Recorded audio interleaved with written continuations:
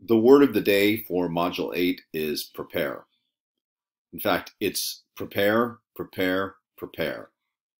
This is a tough exam. I would say it's the toughest exam that I give in any class that I teach because it's meteorology and meteorology is hard.